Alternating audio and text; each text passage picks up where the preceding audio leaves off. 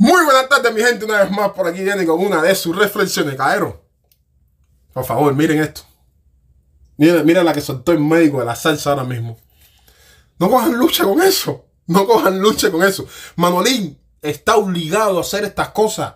Porque si no hace estas cosas, Manolín no va a pertenecer al Ministerio de Cultura. Tú que le dijeron, mira, si tú quieres nuevamente, nosotros confiamos en ti, y tú quieres pertenecer al Ministerio de Cultura, y a la Asociación Hermanos ahí, y a todas estas cosas, usted tiene que tirar un post ahí para que los cubanos piensen que tú estás defendiendo esta cosa, y nosotros te vamos a dar dos conceptos, uno en Artemisa y el otro en Mayaví.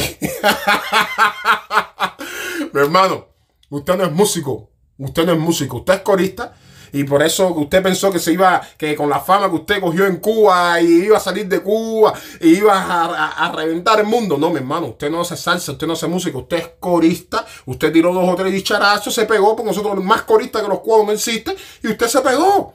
Pero te aseguro que usted en el, momento que usted salió de Cuba, que tenía su fama, usted hizo bastantes conciertos y usted hizo dinerito. Lo que como tu mente es de comunista, tu mente es de gente sin cerebro, usted no pudo invertir, usted no pudo hacer un negocio. Porque una persona que no tenga la capacidad que tú tienes de ser comunista, porque para ser comunista que tener capacidad, hubiera hecho un negocio. Un negocio que dice, espérate, no voy a vivir de la música, la música no me está yendo bien, pero yo me voy a, sustentar, a,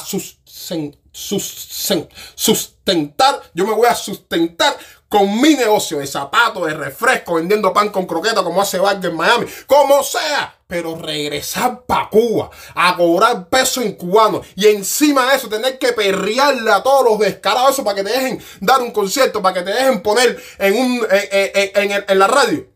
No, mi hermano, no caigas tan bajo. Ya tú caíste bajo con solamente regresar a Cuba. Ya con eso tú caíste en el piso. ¿sí? Ningún cubano que sale de Cuba regresa. El cubano que regresa a, Cuba a vivir nuevamente es porque no tiene capacidad para trabajar. Sencillo.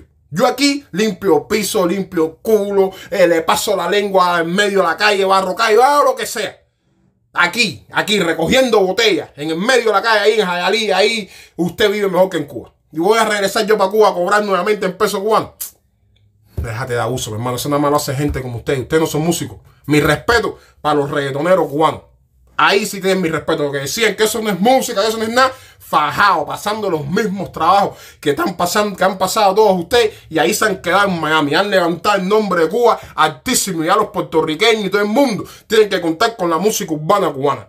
Porque nada en la vida es fácil. Nada en la vida es fácil. Usted tiene que demostrar que es bueno. Y si usted es bueno, usted sale adelante. Todos ustedes son unos mediocres. Nos vemos. Reflexiones. Así.